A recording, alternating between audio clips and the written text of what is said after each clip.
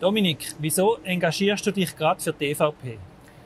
Ja, lange Zeit ist es so gewesen, dass ich das Gefühl hatte, es gibt eigentlich gar keine Partei, wo ich mich drin finden kann.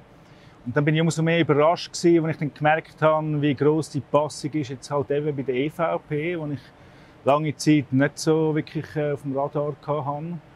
Ja, und fühle mich jetzt mit dem eigentlich äh, durchaus wohl.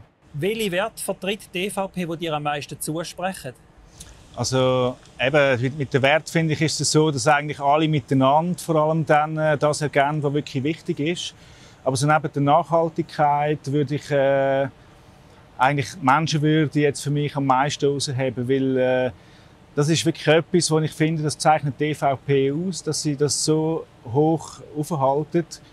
Was darum geht, eigentlich wirklich, dass jeder Mensch äh, ein Recht darauf hat, äh, in Würde zu leben. Und ähm, ja, das ist äh, etwas, was ich äh, enorm wichtig finde. Wenn du gewählt wirst werden, für welches Anliegen wirst du dich prioritär einsetzen? Ja, also da würde ich sagen, wäre mir jetzt als wichtigstes der Zusammenhalt von der ganzen Gesellschaft das Anliegen. Und dort drin wiederum äh, der Zusammenhalt von der Generationen, weil, weil der Zusammenhalt eigentlich das Rückgrat bildet, finde ich, von einer tragfähigen Gesellschaft. Hättest du konkrete Ideen, wie du diese Anliegen umsetzen willst?